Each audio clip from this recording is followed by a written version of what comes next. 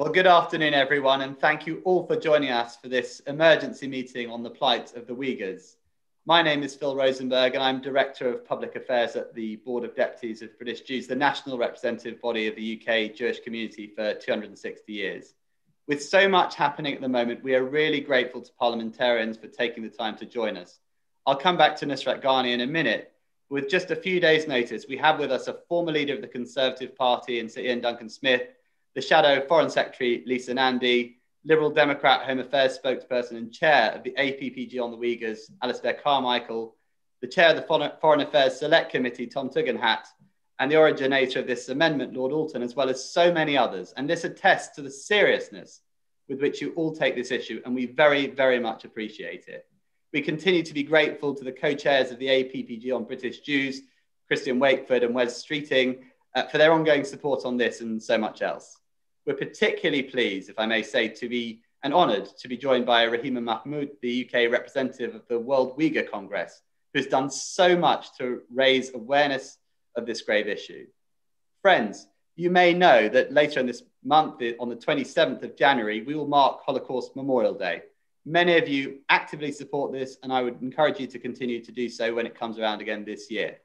And you will understand that as a community, we are to consider comparisons to the murder of six million Jews and many others by the Nazis. You'll understand the reasons for that. But even so, the Board of Deputies uh, President, Marie when she wrote to the Chinese ambassador here, said, Nobody could fail to notice the similarities between what is alleged to be happening in the People's Republic of China today and what happened in Nazi Germany five years ago. People being forcibly loaded onto trains, beards of religious men being trimmed, women being sterilized, and the grim specter of concentration camps. Every year on Holocaust Memorial Day, we say, never again. And yet, it has happened again over and over again in Cambodia, in Rwanda, in Bosnia, in Darfur, and now it appears in Xinjiang, China. As we see this devastating reality, we at the Board of Deputies of British Jews have to ask what choice will Britain and the world make this time?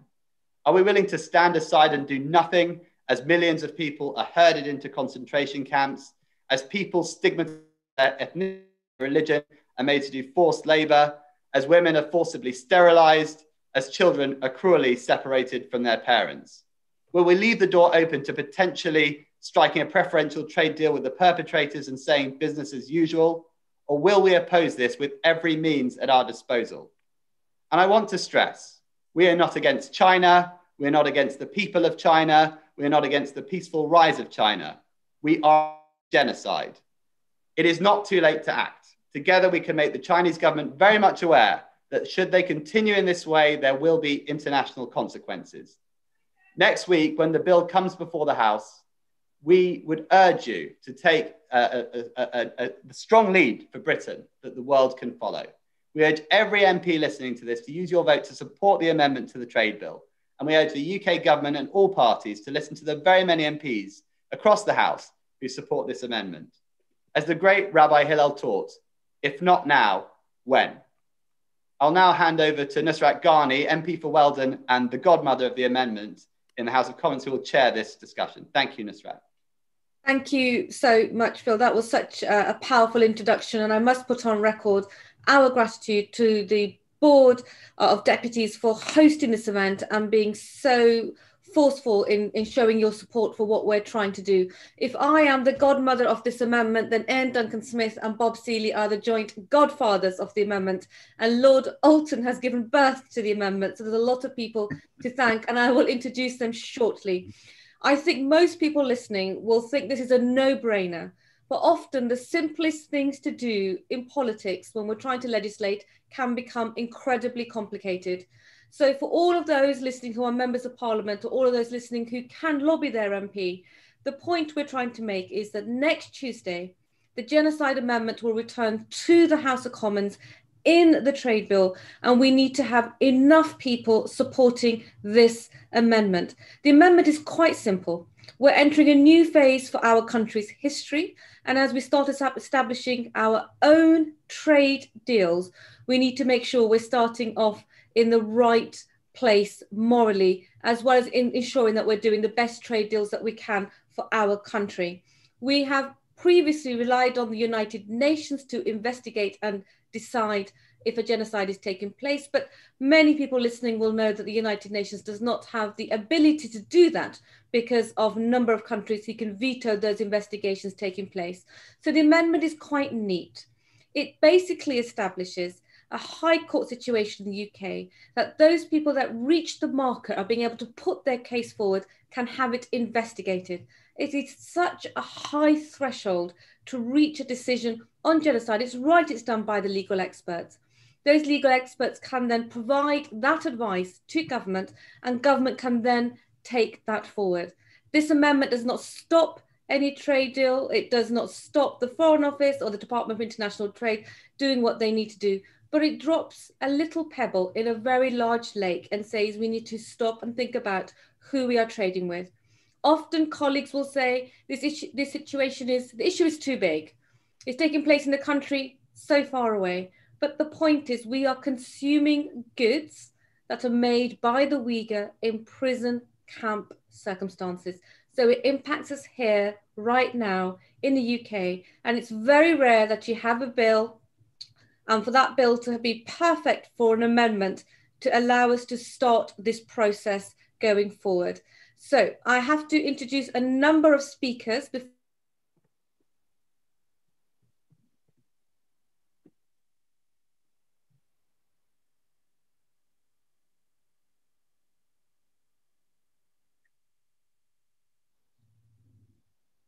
well as Lord Alton, we also have a barrister with us, Arif Abraham, who can also answer any of your difficult questions. So please do not be shy about putting any question forward. The first person I'm going to introduce, who will have four to five minutes to speak, is the wonderful Lord Alton, who has been managing this amendment over in the House of Lords and finally gets to send it over to us in the House of Commons on Tuesday. Lord Alton, the floor is yours for four minutes. Thank you very much, Naz. It's a great pleasure to be with you this afternoon.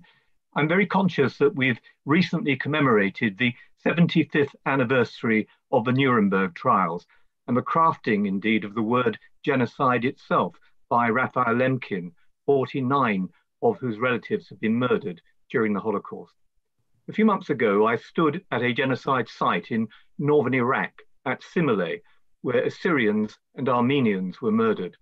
It was those events which had drawn Lemkin into a study of mass atrocities. And of course, Hitler would say famously, infamously, who now remembers the Armenians? And that has been the story of genocides, of them happening and people forgetting what occurred. During that same visit, I met Yazidi leaders. Previously, I'd been to Burma and met with Rohingya leaders and visited a village the day after their homes had been burnt to the ground. And I went to Darfur, which you was mentioned uh, by Phil in the in the introductory remarks. That was a genocide that killed 300,000 people and displaced 2 million more. On return, I wrote a report which The Independent carried on the front page under the headline, If This Isn't Genocide, What Is? At the time, I spoke to the much loved, now late, Rabbi Jonathan Sacks, Lord Sacks, and was greatly encouraged by the Board of Deputies as I campaigned at the time for genocide charges to be brought against Omar al Bashir. That's the background then to my private members' bills on genocide determination, which I and Fiona Bruce in the House of Commons have laid over the last three years. Given the chance, though, in this trade bill, we, could, we saw that here was an opportunity to table the principles that underpin those private members' bills and it was carried in the House of Lords by a massive majority of 129. Let me re-emphasize, this wasn't a, a, an amendment just coming from one independent crossbench peer or from a few uh, colleagues. This was supported from the front benches of the opposition parties. So it had official support from those front benches. And more importantly, in many ways, given the politics that we have to deal with, it, in, it was sponsored by my colleague, Lord Forsyth, a former cabinet member in a Conservative government. It was sponsored by Iain Duncan Smith, former chief whip, uh, Lord Blencathra. It was supported in the vote by Eric Pickles, the former chairman of the Conservative Party, and by Conservative peers like Lord Polak, who will be well known to many members of the board. From the crossbenches, it received support from people like Lady Deech, who, of course, hardly needs instruction about the horrors of the Holocaust, and from two former Supreme Court judges and the Lord Chief Justice, the former Lord Chief Justice, Harry Woolf, Lord Woolf. Now, the debate, if people want to read it, is on my website. We've got many important speeches to hear this afternoon. So let me just conclude by saying that for too long, governments of all parties have refused to name the crime above all crimes, genocide, for the crime that it is. And as you're right, the threshold that has to be demonstrated is an incredibly high one. You have to demonstrate that not just even crimes against humanity have taken place, but this is a deliberate attempt to destroy a community on the basis of their ethnicity or their religion. Now, clearly, with one million Uyghurs in camps in Xinjiang, an area I've personally visited before these events took place, but nevertheless, during those visits, I met with the Muslim community, and already they could see the writing on the wall. Why? Because of what was happening in neighboring Tibet to Buddhists there, whose own religious uh, religious life and spiritual cultural life was being destroyed by the same forces in the Chinese Communist Party, not people of China, but by the CCP. Now, it's naive at best and deliberately deceptive at worst to suggest that China would not use a veto at the Security Council and would refer itself for the allegations that now stand against it to the International Criminal Court. Even with a million Uyghurs in prison camps being used as slave labor and allegations of appalling crime that Phil has outlined to us, including forced organ harvesting, which Sir Geoffrey Nice's independent tribunal concluded has taken place it's impossible to get those charges and those evidence before the International Criminal Court. For all those reasons, why don't we have the confidence, which is what this amendment does, the confidence to lay the evidence before the High Court of England and Wales and to ensure that groups like the Uyghur Muslims have an opportunity to lay the evidence before a court of law and to demonstrate what is happening to them and let that then have an impact on our policies, not least trade. It shouldn't be business as usual with people who are responsible for crimes against humanity and the ultimate crime of genocide. Thank you so much, Lord Alton. And I must put on record that you sit on the um, International Foreign Affairs Committee. Um, and we're so grateful for all the work that you've done. And I hope that with my colleagues, Ed Duncan Smith and Bob Seely, and everybody else on the call, we can do this amendment justice. Um, before I introduce Rahima, um, who will explain the situation, um, what's happening on the ground, because her family are still in Xinjiang. One of the important things that was raised by the Foreign Secretary at the dispatch box this week was the vile crime that has led to the 85% drop in birth rate of Uyghur women. Now, if there was any marker of genocide, it is a situation like that where a, a generation of Uyghurs just are disappearing from the landscape. So, Rahima, if you can hear me, um, if you could um, possibly contribute for about five minutes. Thank you very much. And uh, it's a privilege for me to, uh, to speak at this event. Um, as a director of the World Uyghur Congress UK, I am pleading to you to support the amendment uh, we, the Uyghurs diaspora, desperately need a judicial decision regarding what is happening to our friends and loved ones in our homeland.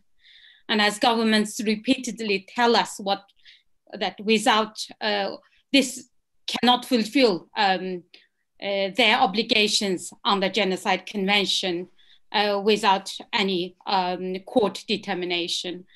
And uh, um, this week on Tuesday, uh, The Guardian published uh, one of the camp survivors' testimony, Gulbahar Haitiwaji. And uh, uh, this is what she said They had tortured my body and brought my mind to the edge of madness. Women like me who emerged from the camp are no longer who we once were. We are shadows, our souls are dead. Now, I'm also working uh, on another news report with the BBC, and this is a testimony from Tursunay Ziawudun. I will just read out uh, one part which is absolutely horrific.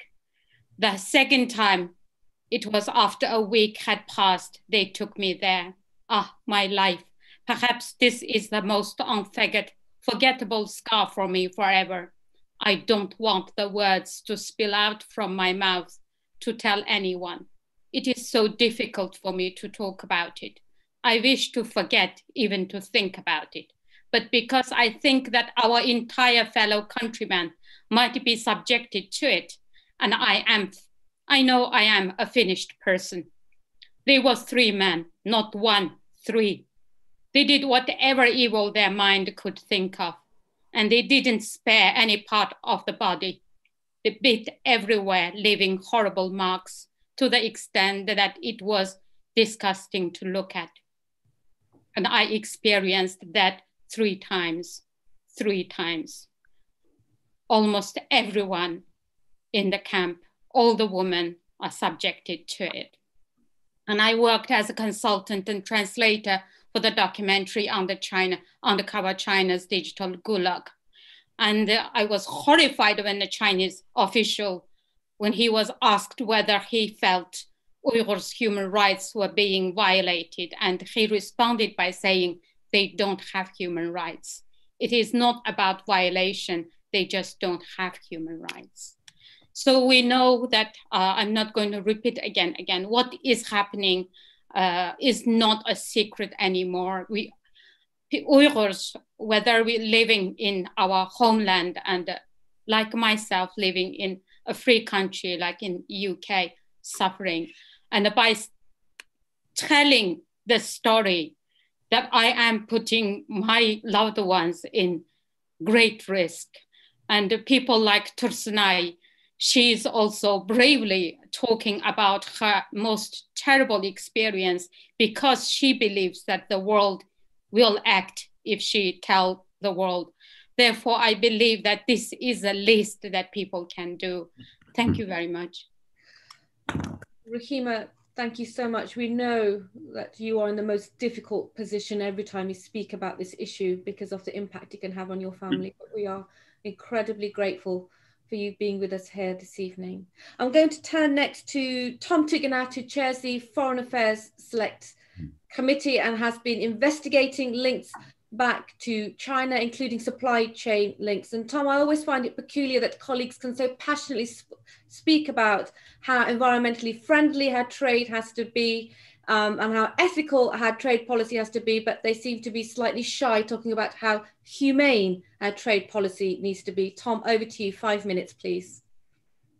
Thank you very much, Nuz. It's a pleasure to be back with you, uh, as you were a wonderful member of the Foreign Affairs Committee. So, uh, so your presence uh, is is very welcome as we're looking into uh, Xinjiang goods in in UK uh, uh, markets. This is something that many of us have felt very strongly about for a long time. As you know, the Foreign Affairs Committee has been looking at the way that autocracies and dictatorships try to influence democracies in many different ways. We've looked at uh, dirty Russian money. We've looked at uh, academic freedoms being infringed by uh, things like the Confucius Institute and indeed by the Chinese uh, embassy officials in the UK. But perhaps the worst way in which we can be uh, brought down to the level of the tyrannical states is by finding ourselves complicit in these awful crimes. Now, many years ago, two centuries ago, it was not uncommon to find that sugar bowls were painted red with blood to remind people who took sugar where it came from, the slave fields of the Caribbean. And today, it would be right to remember that Chinese cotton comes with the mark of Cain as well and the mark of blood. Now, there was a time many years ago, in the early 1800s, mid 1800s, when we spent 2% of our national budget on fighting slavery with the West African Squadron. Today, it's a much lower price, but we know that the price is paid not by us, but by people in Western China. So, this is uh, an opportunity, I think, when the UK really must uh, make clear its opposition. I hope very much the government listens. And I hope very much that we make the uh, changes that we need to ensure that goods that come from uh, slave states and slave production are stopped long before they arrive at our border because the idea is not actually to stop the goods arriving. It's to stop them ever being produced. It's to close the production not to close the market. So this is a, an opportunity for us to make a, a stand not about us, in, in fact, not really even about the United Kingdom, but about the production of slave goods that are now sadly becoming too frequent uh, again. So I'm delighted that uh, the Board of Deputies, an organisation that has stood uh, for human rights and for the rights of minorities, not just the Jewish faith, but, uh, but minorities all over the world for many, many years, is making this stand again. I'm sorry to say that we are fighting slavery in the UK again for the first time in hundreds of years. Uh, but this is an important battle and one that uh, has come to, sadly, many shops and many homes in the UK without anyone's knowledge. So, raising awareness, resisting purchase of slave goods, and making sure that our government stands against it, I think, are very important things for us to do now. Thank you. Thank you so much, Tom. We're incredibly grateful for your support. And next, I come to the Right Honourable Iain, um, Sir Iain Duncan Smith. And as I said earlier, if I'm the godmother, then Iain, then you must be the godfather, and you definitely look like that tonight. Thank you very much indeed. Um, and uh, it is a huge privilege to be here, actually, at this. Um, the truth is that uh, it's it's a privilege because I, I see around us uh, uh, all those A who have spoken. I want to come back to that, but also I see Lisa Nandy, I see Alistair Carmichael, I see, of course, uh, all the others that are there, and of course Lord Alton, uh, all from different parties. No party owns genocide, and nor should it be a party political problem. So the government should not see this in terms of party politics. They should see it in terms of right and wrong. It's a very simple choice, but a complex decision. And so, on that basis, it's worth reminding ourselves, I think, uh, agreeing with everything that has been said before, uh, that it was a Jewish lawyer, Raphael Lemkin, in 1943, who coined the term genocide. Uh, in his case, it was genus from the Greek, meaning race or tribe, uh, and side, which is to kill from Latin. So, although we, uh, the Holocaust was not the only uh, time on record when genocide has been practiced, uh, that definition in 1943 always brings us back to the concept of the Holocaust because it was the first time that any such event uh, could be so termed. and on that basis, I want to hugely congratulate uh, in this particular case, how difficult it must be for Rahima to be here and to constantly promote this. My heart goes out to you. Uh, you spoke movingly uh, for everybody. Uh, and you said something which touched a nerve. It took us back to the 1940s. You said uh, that uh, the Uyghurs, it was said that the Uyghurs by the Chinese authorities had no rights. They had no rights. That reminds me of the way in which the Jews were treated in the 1940s uh, as termed as Untermensch, people with no humanity. So what you did to them didn't matter. They were just so much vermin to be treated as such. And that, I think, is what is going on. And so I simply say to my colleagues uh, on Tuesday, for I think it will be Tuesday, when this bill returns, you face a very simple choice. The government says at the moment, as all governments do, uh, not this, not here, not now.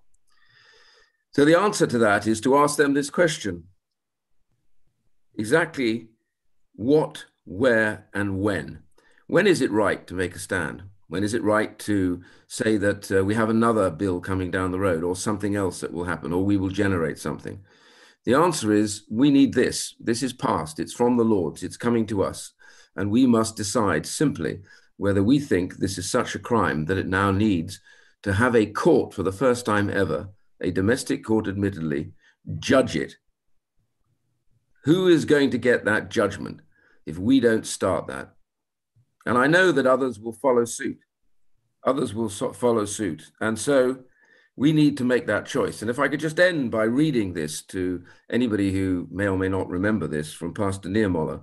First, they came for the socialists. I did not speak out because I was not a socialist. Then they came for the trade unionists. I did not speak out because I was not a trade unionist. Then they came for the Jews. I didn't speak out because I was not a Jew. Then they came for me. And there was no one left to speak for me. If we in the Mother of Parliaments do not speak for those who are benighted and trashed by authorities, then frankly, I don't think we deserve to be in that Mother of Parliaments. And I hope my colleagues will agree with me. Iain, thank you. Another powerful contribution. Thank you so much. Um, please use the chat forum if you're shy about asking a question. And next, can I ask um, Lisa to contribute for about five minutes? Lisa Nandy, over to you, please.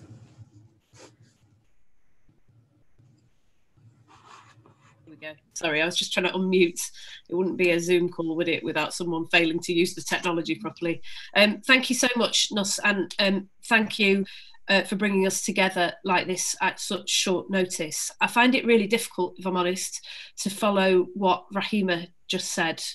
I find it really, really upsetting to listen to the testimony of those like you, Rahima, who've got family who are going through this at the moment, and particularly the very powerful testimony that you just read out about people who have survived this process but have come through it utterly, utterly changed. And I just feel that it's very difficult to find the words to follow that, but we owe it to those people to try. So I will start by saying that the treatment of the Uyghur Muslims in Xinjiang is a scar on the conscience of the world. And that was brought home to me very powerfully on two occasions last year. The first was when I had the opportunity to meet Rahima for the first time and to hear the harrowing, heartbreaking reality of the systematic persecution of the Uyghur in Xinjiang, the forced sterilizations, the forced labor, and other atrocities. And I don't mind saying that the situation of women and children is something that I will never forget. It's the sort of testimony that you hear that leaves you with a lasting sense that you will not rest until something has been done to stop it. The second moment was on the Andrew Marr programme in June last year, when I think we all remember the absolutely chilling interview um, that unfolded. And just after that, as Phil said in his introductory remarks, Marie van der Zyl wrote to the Chinese ambassador on behalf of the Board of Deputies and that way in which she laid out the similarities between what happened in Nazi Germany and what is happening today the people being forcibly loaded onto trains, the, the beards of religious men being trimmed, the women being sterilized, the grim spectre of concentration camps. I think for those of us who've grown up knowing and learning only too well about the Holocaust, with parents, or in my case, grandparents, who fought in the war in order to stop that from happening, we just feel absolutely that it would not be in keeping with the UK's tradition of standing up to mass atrocities, to persecution, and against that Holocaust to turn away now. So I want to thank the APPG and I want to thank the board of deputies for the work that you've done to make it so crystal clear, as Iain said, that we can't, in any conscience, turn away. And I hope that that cross party presence that Iain referred to here today, just in and of itself, sends a powerful message about the strength of feeling in the House of Commons and the House of Lords. We will not allow this to become a partisan issue. Nuss, Iain, Tom, Alistair, Lillian, Wes, and I, and all of the other MPs and peers on this call, we will stand together to make sure that the UK shows leadership on this. And I just want to echo something that Iain said too. You know, I'm I represent the official opposition, and we have plenty of knockabouts in the House of Commons. There are plenty of things that where we can choose to have party political disagreements and try and get one over on one another. This is not one of those issues. This is not about getting at the government. This is not about attacking the government. This is about making sure that we are on the right side of history in the United Kingdom and that our country lives up to the values that we claim to represent. And I, I was in the chamber earlier this week alongside many of the MPs here and heard very strong words from the Foreign Secretary about what is happening in Xinjiang. And I welcome those words, but I want to see those strong words backed up with similarly strong action. There are so many things that we could do, including targeted sanctions on the officials responsible in Xinjiang, including strengthening further the Modern Slavery Act.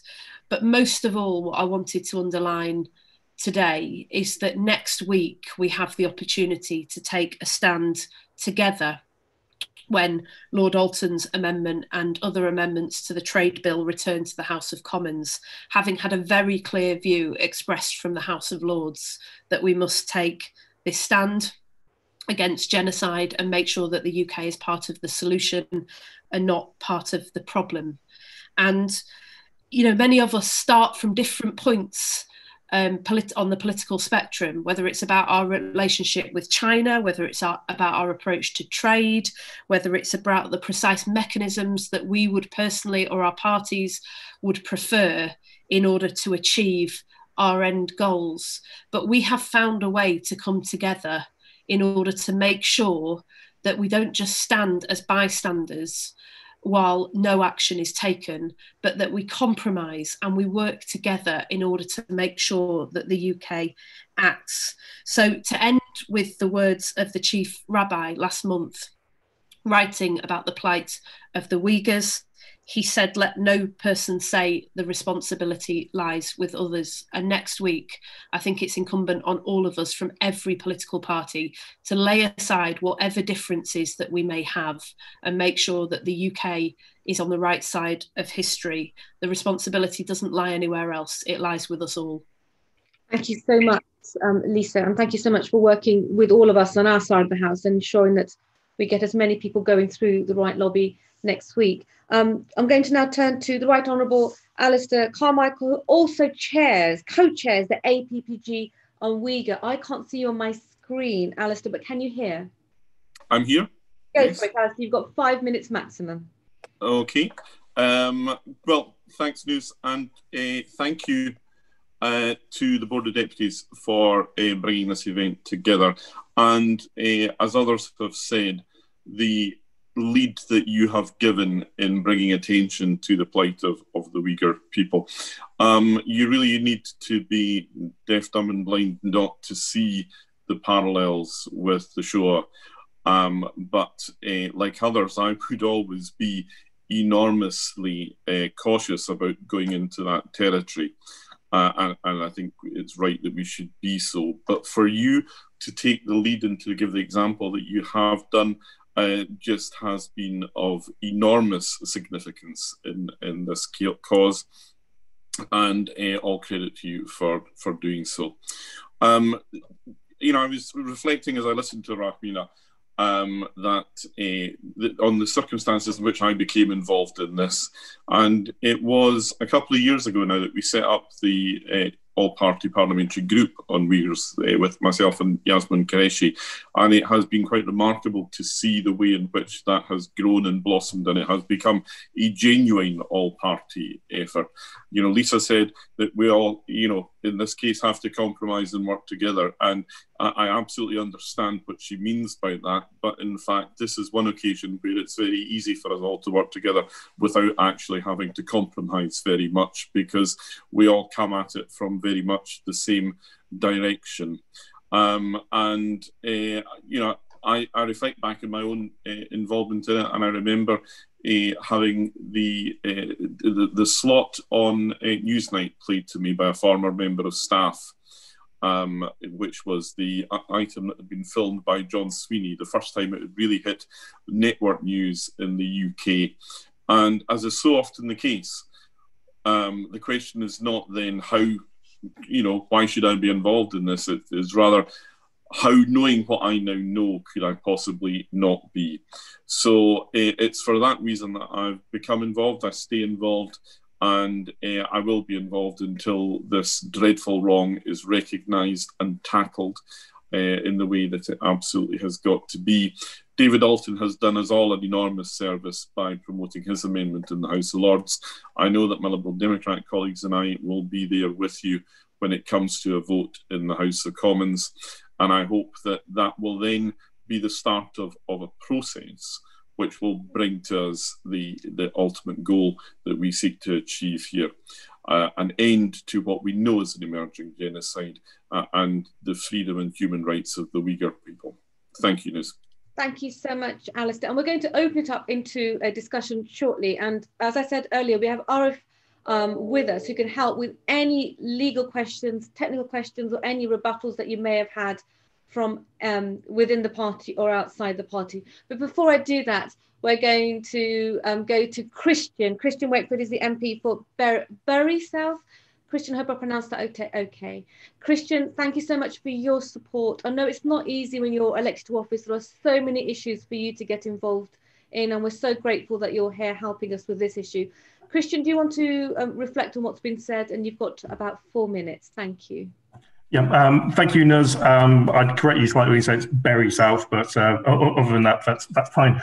Um, like you said, uh, it's um, always a, a, minefield as a, a, new member to, to know uh, when, where, and how to, to kind of make that stand.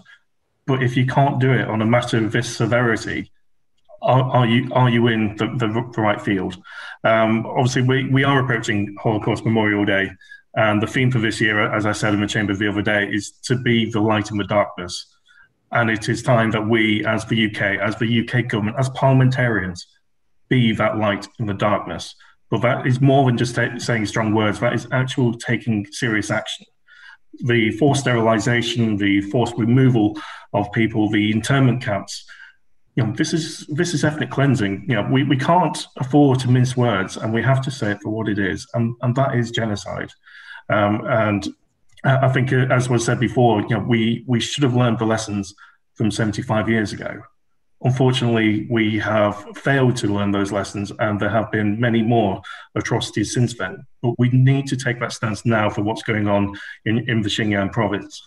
Um, so, like, like, Lisa said, you know, sanctions do need to uh, take place, but they need to be meaningful, hard-hitting sanctions. Uh, we saw the Chi- Chinese ambassador the, the, other day for the United States, not not even denying what's going on, but appearing to celebrate the work they are doing in Xinjiang. And, and that, um, if it didn't send shivers down your spine, it, it certainly did for me. And uh, certainly sent a very strong message that either they are completely um, immoral as to, to what they're doing, that they can't see it's wrong, or, or they just don't see there being a natural problem. Uh, so I, I, I, was asked recently in uh, both the uh, Limmud conference a couple of weeks ago and at a local Shoah discussion group, what can MPs do? How can MPs help? And the truth is, most MPs probably don't even know this is, is a full issue. It's not in uh, the, the mainstream media on a daily basis. Uh, most MPs probably don't receive correspondence on a daily basis re- regarding what's going on with, with the Uyghur. So to, to me, it's much more of a concern. Uh, uh, so not, it's not just affecting our Muslim communities, our Jewish communities, with, with the memory going back to the Shoah. It is a hard hitting message that we all need to learn from. We all need to take action and we need to stand up. So, my, my message to everyone uh, no matter what community you live in, no matter where in the UK you are, speak to your friends, speak to your member of parliament, speak to whoever you can to make sure that as many people know about these atrocities as, can do. And then obviously we well, we don't have a hard decision to make on Tuesday. We we have the right decision to make on Tuesday, and, and that is by saying actually we, we are open to trade. We are not against China and the, and the Chinese people. We are against a corrupt regime which is co- committing these atrocities on a daily basis. Uh, so, whilst uh, many colleagues will, will be going through uh, the Aye lobby to, to be supporting this amendment, I, I, too will be one of those because this needs to be the message we send that enough is enough and we are taking this seriously. Um, so, I'll, I'll, end it at that, uh, trying to be as brief as I can, Nuz, um, because all, all we can do is, is do the right thing. Christian, thank you so much. And for those people that aren't involved in, in politics, it's incredibly difficult if you're newly elected to, to do what Christian's going to do, which is walk through the lobby with us, because it, it's just, you know, it, it is tricky going forward. So, Christian, we are incredibly grateful. I can't see anyone's hand raised. Because I can't, I'm going to ask the first question of Arif, but I can see lots of MPs on the line. So please raise your hands or put something in the chat box. Arif, there is some concern. What we're doing, we are outsourcing something, and the you know the courts will be full of vexatious claims, and trade deals will be will be basically stuffed. Arif, can you explain the system so people can have confidence that this isn't going to stop any trade deal in, in, in track, and it, it's you have to be quite a high marker to have any claims investigated. Absolutely. Um, thank, thank you very much, um, and, and thank you for also um, inviting me here to speak. Um, uh, the way this um, amendment operates is, is actually very precise and it's, and it's very clear in what it's meant to do. What it is is a group of interested parties, victims and survivors, may make an application to the High Court of the UK that application is conditional in having a trade agreement in place. Now, what happens is once an application is made, nothing happens to an underlying trade agreement. Basically, the High Court will look at the application and consider, firstly, whether it meets an applicability test. So, you know, vexatious claims get thrown out like all other cases get thrown out of a court. If you can't substantiate the claim, it's not going to get past the first hurdle. If it gets past the first hurdle, um, some of the speakers have mentioned that genocide is a very difficult test to meet. And so you would have to marshal a considerable amount of evidence in order to meet the test for genocide. If you were to meet that test, then of course the High Court can make a preliminary determination, and that determination is then considered by the government. So during this whole process, there's no stage at which the trade, a trade agreement is affected during that process. It's only if there's a positive determination that a trade agreement would have to be considered for withdrawal by the government. Arif, thank you. One of our colleagues had a, a, a question. You basically answered it before they could raise it. Um, if they can indicate to me if they want to come back on anything, that would be great. Um, um, Imran, do you want to contribute anything or do you have any other concerns that you need or any anything else you wish to say, Imran? Um, I've got no questions because I'd be completely blank as to how anybody could question the worth and merit of uh, Alton's amendment um, and how on earth, as um, Sir Iain had mentioned, how on earth uh, any parliamentarian worth his salt could be uh, content not to support uh, this amendment uh, uh, and being the mother of parliaments. So I will be joining Christian and hopefully many, many colleagues from all from both sides of the House on Tuesday in supporting this amendment. Um, and I think that uh, any fair-minded person would feel compelled to do the same. Thank you so much, Imran. I think concerns were raised about the power of investigation, but the courts can only do a legal analysis about convictions and punishment, but they're also unfounded as well. This is, is just a legal analysis and then presenting that um, to to the House to see how it wishes to take that forward. Andrew, you haven't raised your hand, Andrew Lewer, and I'm anxious that you may not wish to speak. But if there's anything, anything, anything technical or any anxieties you have, do you want to maybe um, raise them now or nod if you don't want me to come to you? Well, this is really more for, for you and Iain and co and, and my other parliamentarians is just to make sure that we get the procedures right, given that there's so many proxy votes and what have you going on there. But that isn't something I want to detain other colleagues on here about. I just want to make sure that we, uh, you know, we, we, we get our ducks in a row in terms of how to actually do this. Andrew, you, you've hit on a very important point that Iain Duncan Smith and myself were dwelling on just this morning. Um, the vote will be on Tuesday. So if you wish to alert your proxy which way you want to vote, make sure you do that on Tuesday. If you want your proxy vote returned to yourself, make sure you um, let your proxy vote know and let the appropriate officials know in the House so you can vote yourself. It is going to be a busy Tuesday because there may be a number of amendments to vote on. But if you contact me, Iain or Bob Seely, we will add you to a very tight WhatsApp group, Andrew, and we'll help direct people if so they're alerted to when the vote is coming. I must say that if you wish to speak on Tuesday, the deadline to write to the speakers um, email is one o'clock on Monday. So please put in to contribute. So whichever way you wish to vote, at least you've got an opportunity to speak and ask questions of the minister well before he summons up at the dispatch box. So getting to speak deadline is Monday and um, the vote will be on Tuesday. Are there any other questions?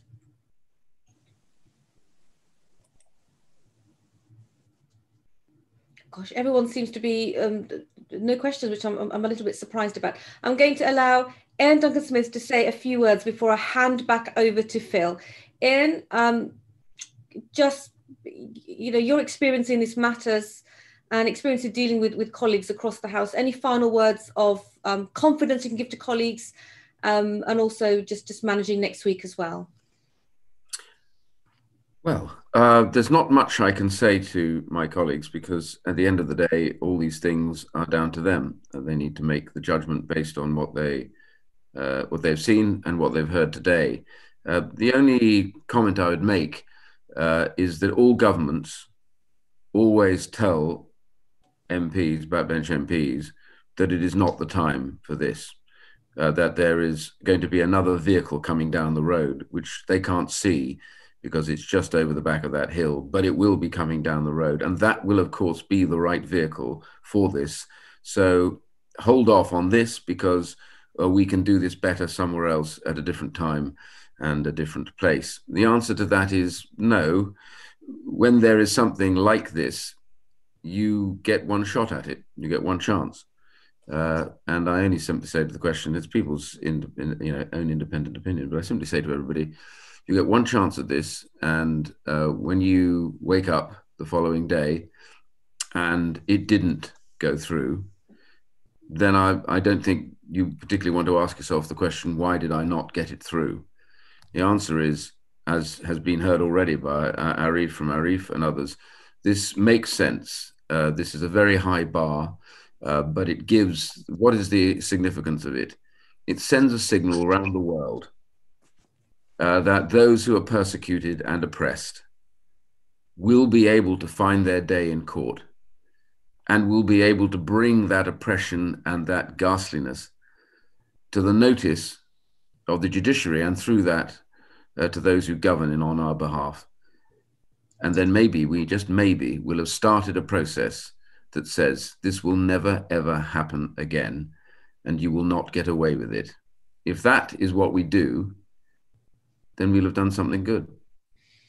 Thank you so much. And um, a number of people have indicated, does Tom want to speak? Tom Randall, but Tom Randall and I are WhatsApping, so I don't think he's going to want to contribute. We're, we're chatting. You can, Tom. Tom, forgive me. Um, would you like the floor? Um, can somebody unmute Tom Randall, please? Great. Um, well, well that, has been great. Thank, thank you for the um, for the briefing. I haven't. I, I, will confess, I haven't looked at the detail of everything yet. So that's been a really good introduction to this to this subject. I suppose one question, um, a bit of a sort of counterfactual that that, that comes to me as, as I've been listening to this. Um, had this legislation, the the amendment that we're discussing, had it been in place for the last few years, let's say, are, are, there any other circumstances in which it would have been applied, do we think? Um, I'm just sort of trying to sort of think of sort of practical examples of where it may or may not have worked, aside from the, the current examples in China that we've been discussing. Well, I mean, going, I can hand over to Lord Alton and um, Arif in a moment, but but Tom, it's such a high threshold to reach genocide. Mm-hmm. And I think what's remarkable on what's happening in Xinjiang is that the evidence is mounting mostly because sure. the Chinese state keeps promoting what they are doing. And it also, we're, we're complicit because the products that are produced by the slavery ends up here on our, you know, every, we're surrounded by it. So it's not a situation where previously genocide took place somewhere else and did not touch us at all. But unfortunately, it impacts us right here, right now. But I see that Lord Alton's unmuted himself. So, Lord Alton, would you like to say a few words? Well, Tom asked a very good question. And I, one example I would give, I referred to it in my remarks earlier on, but it's in parenthesis, and that's the situation in Burma. And I think it's a very good example where we would have been able to do more the moment we saw the signs of genocide emerging our failure to act there, I, am vice chairman of the All Party Group on the Rohingya and the All Party Group on Burma. Our failure to act in those circumstances has led to 700,000 people having to flee out of Burma, mainly into Bangladesh, but other neighboring countries. The sight of people in rickety boats on the Andaman Sea or being caught up in the most desperate conditions imaginable, I think fills us all with horror the Magnitsky powers that the, the, Foreign Secretary has introduced, and I strongly welcome that, has, has, enabled us at last to target one or two of the individuals concerned. But we could have acted, should have acted. We could have put this before the High Court of England and Wales. There was enough evidence which had emerged, and immediately we would have declared that this is a genocide. Now, the effect that would have in the world would have been phenomenal. And I want to see global Britain. I want to see this country standing up for the values that we care for. We are a great liberal democracy. Our institutions are something we should be enormously proud of. And I'm sure that if the evidence about the Rohingya had been laid before uh, our judiciary, then they would have arrived at a determination. So they would have had, as Iain put it a few moments ago, their day in court. So I think that's one good example. I, I suppose one could roll the clock back to, to others. I, I mentioned Darfur in my remarks earlier on. And trade is an issue with Sudan. It might have been one of the things. We could have moved earlier. But I think Burma is, is perhaps a better example and, and certainly very relevant as far as the Uyghurs in Xinjiang are concerned. Thank you, Lord Alton. That's useful. Thank you. Arif, is there anything else you want to raise? I think there may be concerns that people may believe that so many cases may start coming forward, and the UK courts may be a place for lots of other people from other countries bringing cases forward too. Yes, I mean, of course, the UK has dealt with all sorts of claims emanating from all sorts of places for a very long time. And, and that, that argument could be literally used with any area of law. I mean, from housing to immigration, you can say that the courts will be flooded by claims. But of course, our courts and our judges are equipped to deal with applications and dismiss the irrelevant and ones that have no basis from the ones that have a real basis. Uh, Tom's obviously referred to past precedents, and, and Lord Alton has rightly mentioned the case of the Rohingya. Now, the case of the Rohingya is, is really emblematic because actually this is a case where actually a third state, Gambia, has brought um, Burma before the International Court of Justice. Now, you might say, well, if we are so strong on prohibiting, uh, preventing, and punishing perpetrators of genocide, why didn't the UK bring a case to the International Court of Justice? You know, we are a party to the Genocide Convention. Um, and so uh, there is that mechanism, the International Court of Justice. However, um, you can't use the International Court of Justice as a dispute resolution mechanism if there's a reservation to the convention, and you can't use it also unless a state refers another state to the International Court of Justice. If you've got a reservation, you're completely precluded. Um, so, so Burma is an exceptional case where there was no reservation on the convention, and another state, a third state, was willing to refer it.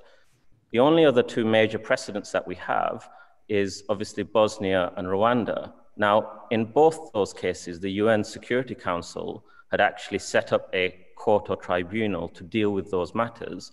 Now, of course, the UN Security Council can only do that if nobody vetoes um, the setting up of those courts or tribunals. Now, I can't say much about the Uyghurs because I'm, I'm involved with the um, Uyghur Tribunal, and obviously we're starting this determination completely um, afresh. But what I can say is that obviously China has a reservation on the Genocide Convention, which means that the only mechanism which allows for an interstate dispute, which is the International Court of Justice, you cannot utilize it. The only other option is if the UN Security Council refers China to the International Court of Justice, which of course it can't because China sits on the UN Security Council.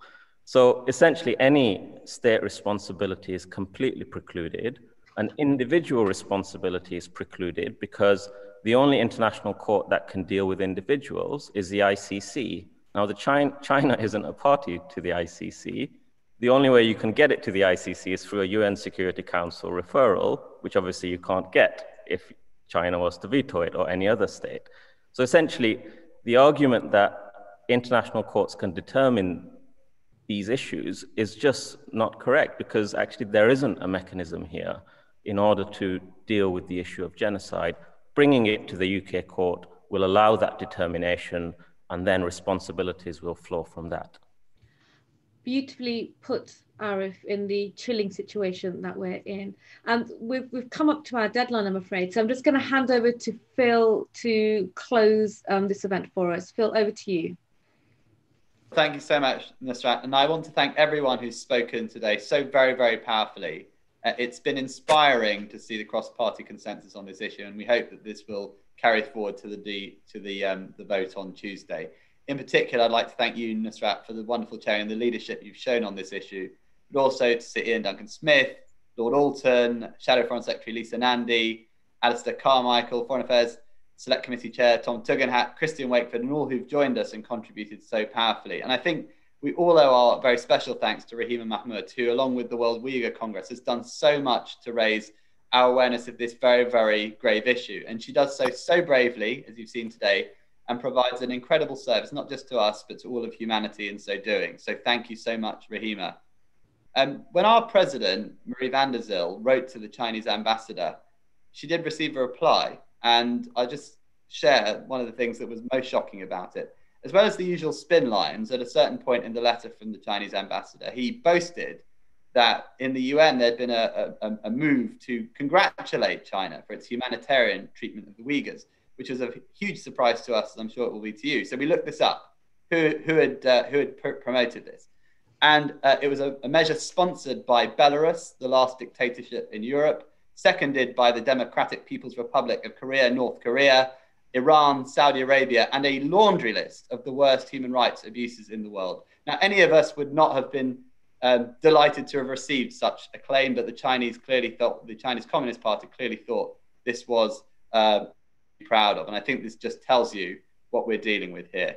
Um, the Board of Deputies, together with the World Uyghur Congress, has produced a briefing paper which it will send out to MPs this afternoon. I know Nusrat has sent uh, something similar or, or, might be the same thing already, but no harm in getting it twice, uh, which will provide further information about the amendment and some frequently asked questions. And we'll also send uh, the video, the link to this uh, discussion, which I think will be illuminating for those colleagues who wanted to be here but weren't able to.